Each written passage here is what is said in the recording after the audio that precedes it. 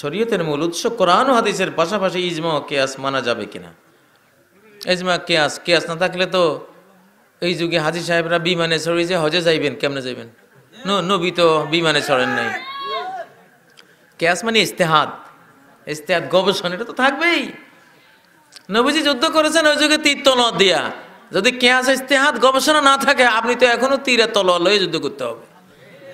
ওরা তো machine gun দিয়ে আপনাকে পাঁচ কিলোমিটার দূর থেকে হোতাই ফেলাইব। আর আপনি তিল লয়ে যাইবেন, মারার জন্য।